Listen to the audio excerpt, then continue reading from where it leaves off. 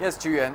So uh, we know yesterday Beijing reported its first two domestic infections in 180 days. And today's latest results from Beijing's health authorities show uh, no more domestic cases have been found in the Chinese capital so far. But mass testing is still underway in uh, affected areas.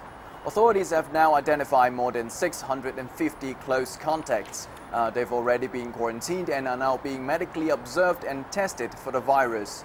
The city is still trying to confirm whether there are more close contacts by investigating exactly where the couple have been over the past few days. That includes subway lines and other places they've visited and the people they've met. Strict neighborhood lockdowns were quickly put in place as soon as the cases were confirmed Wednesday evening.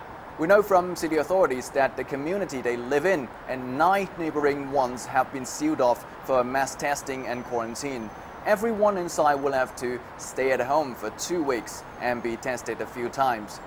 There are more than 40,000 residents within these communities, but officials say they'll uh, guarantee supplies are provided throughout the lockdown. Apart from uh, community lockdowns, the capital has also tightened its policy of entering and leaving Beijing, especially for those from uh, areas classified as high and medium risk.